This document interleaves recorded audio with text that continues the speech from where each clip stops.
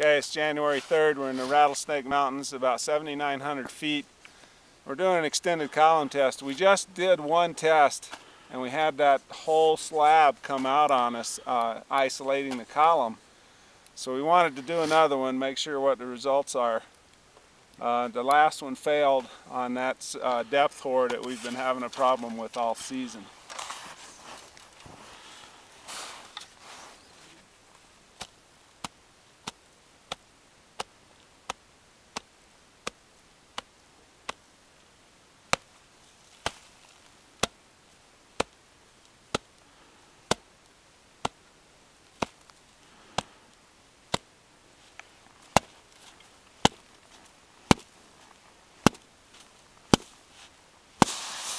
That's a 26.